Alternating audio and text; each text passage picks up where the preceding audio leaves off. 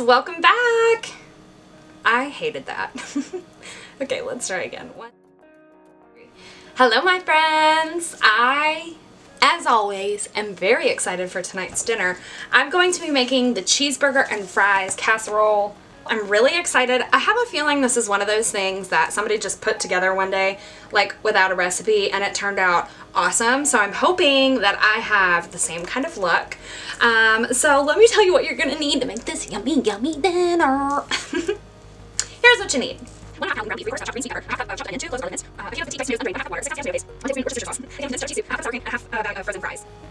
And then assorted toppings like ketchup, pickles, blah, blah, blah, blah, blah. So anyways, let's get into it. I just realized that I was completely out of focus. Anyways, let's get started. The first thing we need to do is preheat the oven to 400 degrees. And then we're gonna cook our beef, onion, wait, beef, pepper, onion, and garlic. So I'm just gonna use my skillet. I'll just leave it where it was. Oh, well, I guess I should chop some stuff first. Let's start with chopping some stuff first. Let's do that. this cookbook is too much. All right, let's find one of them good slicing knives. One of our wedding gifts was this little three pack of knives. Well, I think it was two knives and then like a vegetable peeler. And these knives are the best. Even though it's just like a little I guess you would call it a paring knife. I don't know anything about knives, but they're Rada brand. I don't know. Super nice. Cut the head off. Cut the feet off. You can't see what I'm doing.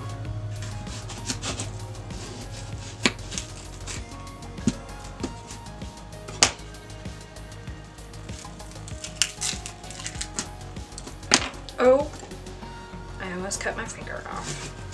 That's not what you want. I'm so hungry.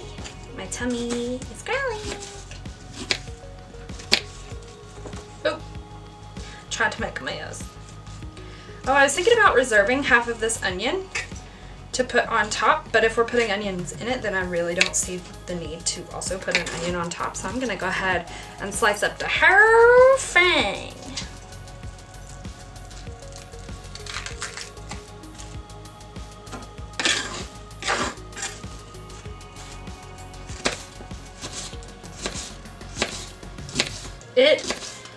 Currently like 20 degrees outside, but I think the wind chill factor probably makes it like a couple degrees negative outside. And last night on Facebook, I posted the question, would you rather be hot or cold? Actually, what my question really said was, would you rather spend the night outside in the freezing cold or spend all day out under the blazing sun? Which was really my way of asking if you would rather be hot or cold. And everybody said hot, but I would actually rather be cold because I don't like being hot and sticky and something about the heat makes me really tired and I feel like lazy. I don't feel like I can get anything done because I just feel so drained. I just, I don't like being hot. I like the summer though because, you know, I used to have a garden I don't have one here, but I used to have a garden and I loved it. I loved having a garden. I loved being in my garden. I just felt really like dead when I came in from being in the garden all day because it was just hot, you know? And so like frostbite and sunburn aside, would you rather be hot or cold? Well, I would rather be cold. I can I feel like I can get more things done. Like, all right, here's the way I see it. I could probably spend more time outside shoveling snow in the dead of winter than I could out all day in the garden or mowing or something like that. You know what I mean? Like I just feel like I could spend more time outside when it's cold. Well, I said that and then let's see, it was probably in the 30s yesterday and today it's even colder and I'm like, man, this polar vortex came in strong. I don't even really know what a polar vortex, vortex is. Um, but I hear that we're in the middle of one right now. so, yeah. Kind of sticking my foot in my mouth on that one. But on, in a general sense, in a general sense, I think I would rather be cold. My stomach is growling.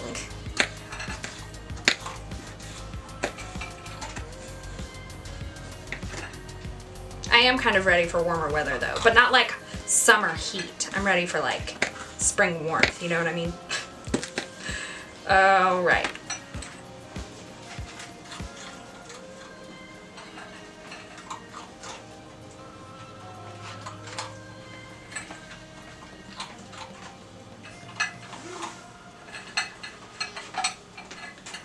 I'm hearing things.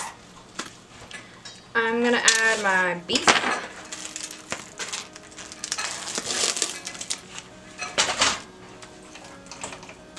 To the skillet and get that started.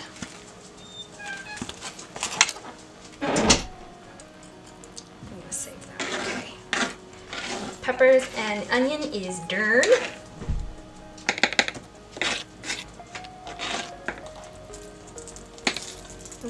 Garlic chopped up.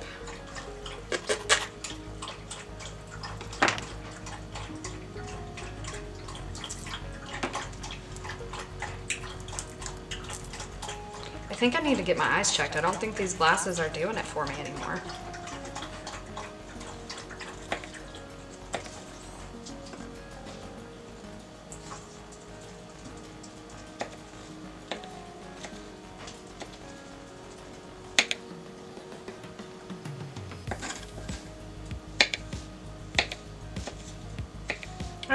Don't like mincing garlic.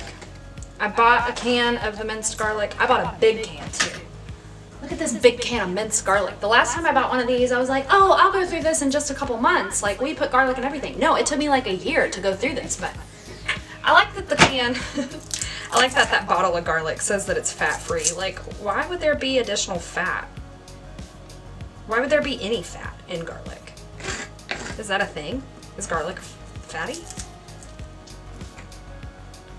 Guess maybe to some things they add maybe some oil to it or something? I don't know. That's one of life's most interesting questions, isn't it? Why is my garlic fat free? I want full fat garlic. How much extra do I have to pay to get some full fat garlic?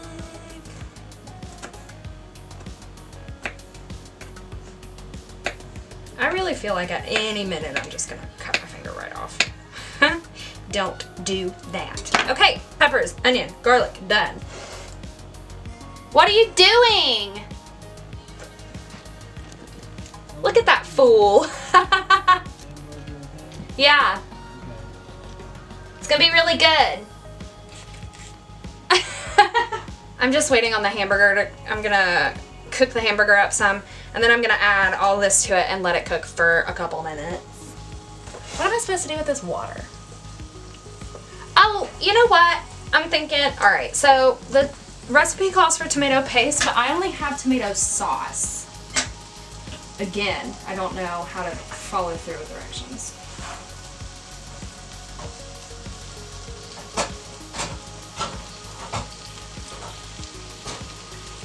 I only have tomato sauce, so the recipe calls for additional half cup of water, but I'm not going to use that because I'm using sauce, which is wet, so I'm paste is a lot thicker. Am I making the right decision here? I don't know. I don't know. Oh, that's a good idea. So there's a tip on the recipe that says for a big crunch, if you love extra crispy fries, give them a head start in the oven. Place fries in an oven, layer on foil-lined baking sheet, in an even layer. Place fries in an even layer on a foil-lined baking sheet. Bake 10 minutes at 400 and then put it on the casserole. And continue baking as directed. So that's what I'm going to do.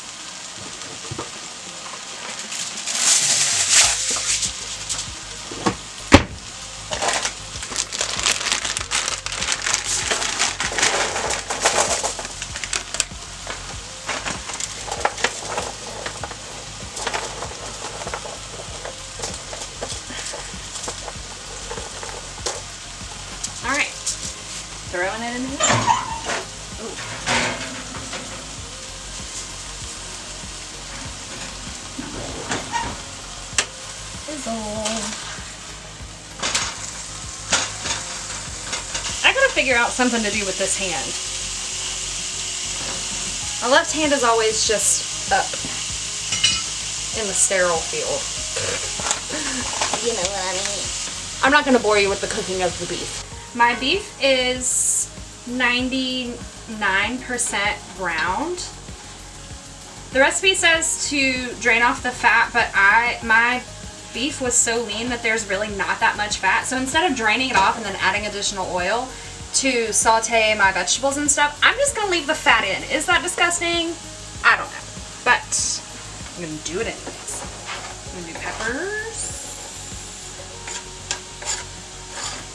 Maybe should have cut those up a little bit smaller. Alright.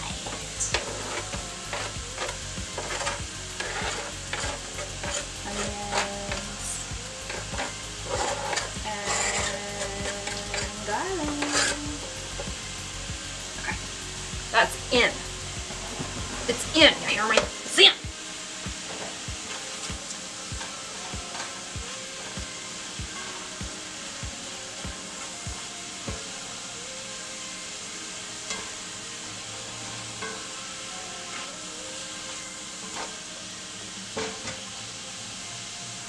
I really need to get some new. What are these pieces called? You know, the plates that go under the. I gotta figure out something to do with this hand. Maybe I should just mimic what I'm doing. I'm getting on my own nerves.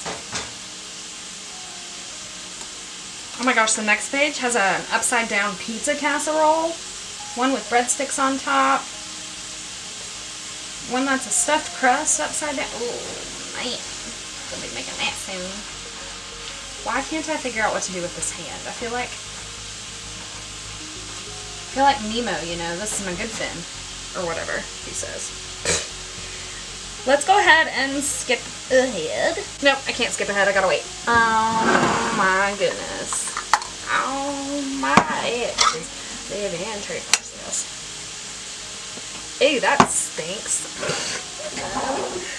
The tomato, that's not tomato, that's cheddar. That's the soup mixture. This soupy thing right here kind of stinks.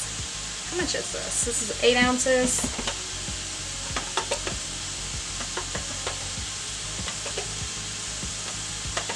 Uh, it only calls for a six ounce can, but because I'm also replacing the water, I'm just going to use the whole thing. This is probably going to jump back to bite me butt. It's alright. I need a new can opener. This thing...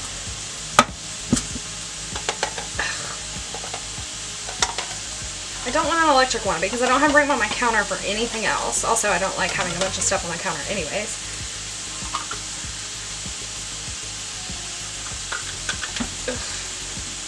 I want one of those that you like put on top. Ugh. You know, the ones that you like put on top like this and it spins the... It separates the lid, not cuts the lid. You know what I'm saying?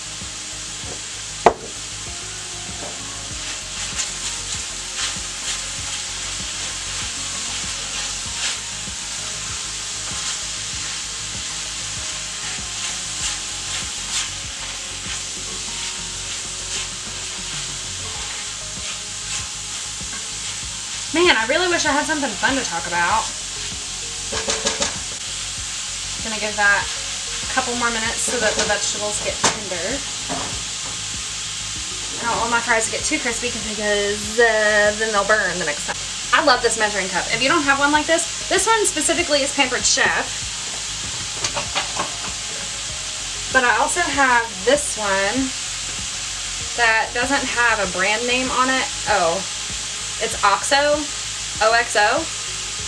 Pretty sure it came off Amazon. These are the best ever. This one is, you put liquids in this side, and then you can push it down and put solids on this side, and the blue measuring is the liquid, and the red measuring is the solid. But this one you can do either way. You can do dries and solids. I mean wets and solids on the same on the same end. I love it. It's my favorite. Gonna go ahead and measure out my half cup of sour cream. Does anybody else scrape the stuff off the aluminum foil lid? I do. Let me know down below if you scrape off whatever's on your aluminum foil lid.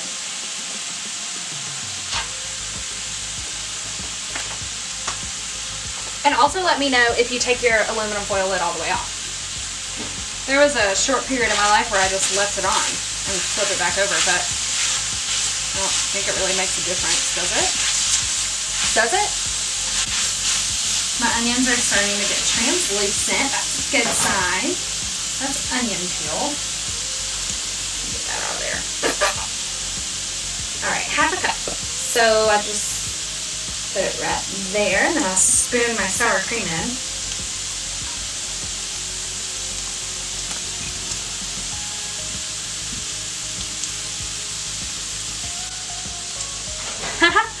I saw this thing on like a, a Facebook yard sale page the other day. I was just putting the lid on my sour cream is what made me think of it. Somebody had posted a picture and it was and it said something about like Tupperware for sale. Um, like complete matches because it had the lid and the bottom, but it was all those country crock butter tubs in different sizes. And my boss the other day called that redneck Tupperware, and I just laughed so hard. My grandma used to use those for everything. She would freeze corn in them, and like she, that that was her like Tupperware containers. So funny. I have something on my nose that itches. Okay, this is good. We're gonna stir in the tomatoes.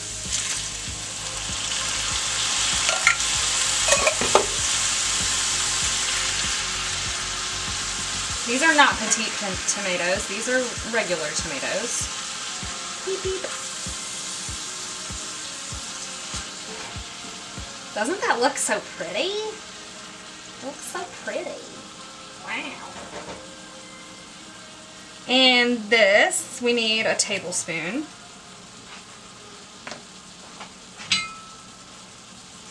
But this is a teaspoon. It's the measuring that I have right now, so I'm just gonna, isn't it like four teaspoons make a tablespoon or three? I'm gonna do four. Because why not, right? I don't know how to follow directions anyways.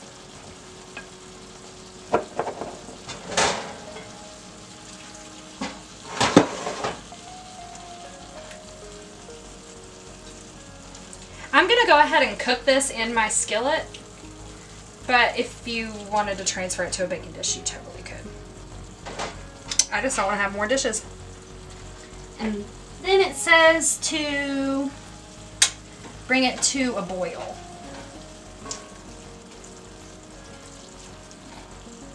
Am I missing something? The undrained tomatoes, the water, the tomato paste, and the and that. Well, like I said, I really hope that doesn't come back to be a bad decision that I just made, but we'll see. I'm doing that thing again with my left hand.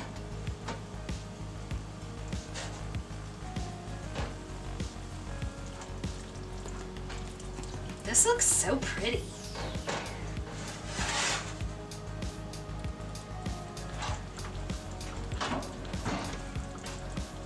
I need to take my fries out I can't see them.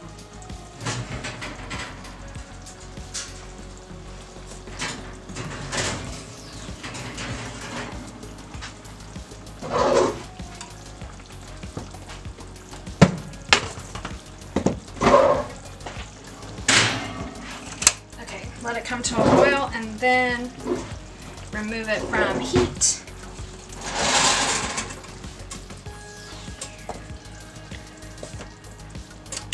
remove from heat. Then spoon in the beef mixture to a three quart baking dish if you'd like. And then in a medium bowl, stir together the soup and sour cream. I'm not going to waste a bowl for that. I'm just going to put it right in.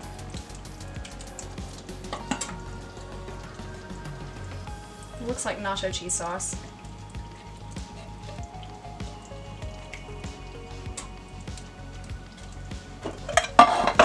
I started recycling again. Whee! I'm really excited about it soup and sour cream. See how fun that was? I love doing that.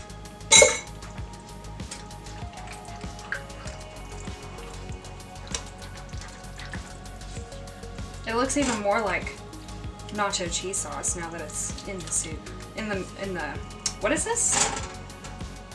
In the casserole thing. You know what I'm saying. This looks like it definitely could be the start of an amazing uh, like taco salad or or a dip, some kind of like Mexican dip. Yum. I almost made the stuffed peppers tonight, but then I realized that we had Mexican yesterday and I didn't want to do Mexican two days in a row. I mean, I could, but I almost did. Wow, this smells delicious. All right, that's all mixed together and then we need to, oh, it said to spread it over it and I mixed it in. Well, whatever. It was probably gonna mix itself in anyways. And we're gonna top it with fries.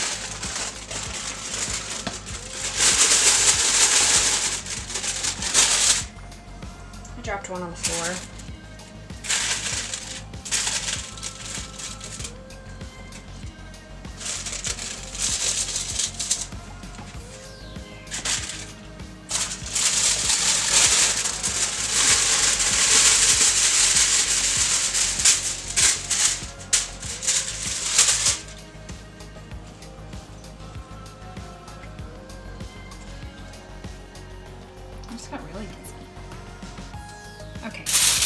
Fries are on top. Now we're going to bake it uncovered for 40 minutes or until heated through and potatoes are lightly browned and beginning to crisp.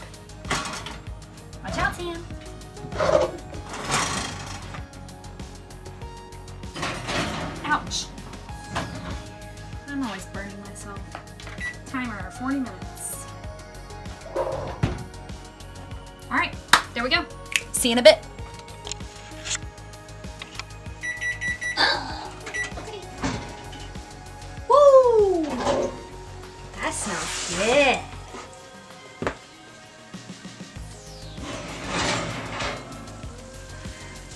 Oh, wow.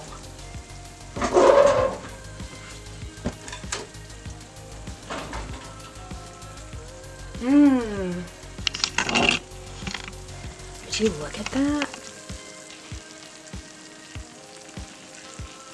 Oh. Look at that cheese. Yo. Yum. That is definitely too hot to try and taste, but I'm gonna do it anyways.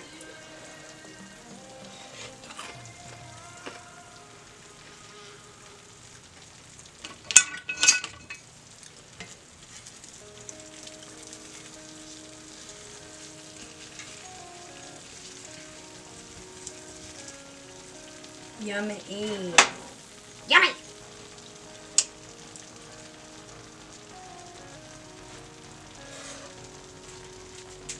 I'm gonna get out pickles and mustard.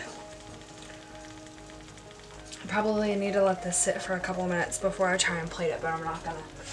I am still using the disposable things from my wedding because I didn't, well, just because. I really thought I would have had them all used up by now, but no. So I'm just gonna put that in a bowl. This is definitely not the healthiest dish. Here's a healthy twist though. You can cut the sodium in this casserole by using no salt added diced canned tomatoes and tomato paste. And then you can change it up with using, you could put tots on top or onion rings or anything. I was gonna make a salad to go with this, but I kind of just want this. Here's what it looks like in a bowl. I'm gonna put a pickle on top of mine and a little bit of mustard. Okay, kind of a lot of mustard. Let's taste it.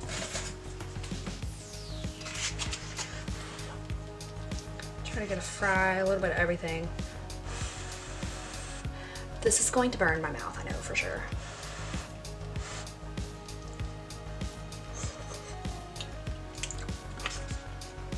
Mmm, tastes good. Tastes exactly like what it is, a cheeseburger casserole. Mmm! It's too hot to eat right now. But I know it's gonna be delicious. ah! Anyways, give this video a big thumbs up if this is a recipe that you'd like to try. Make sure to subscribe to my channel so you don't miss out on any more cooking and I'll see you tomorrow. Bye. Too much! Oh. I'm hungry right now. Yummy. My husband, so silly. Do I show you all that? I don't. I don't know. I love the sound of a sizzle. One pound should be plenty, right? This is the first thing I would eat all day. I'm hungry.